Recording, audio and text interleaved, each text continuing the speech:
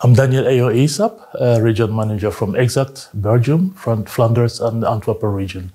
Uh, we are here in the summit uh, 2024 in uh, Poland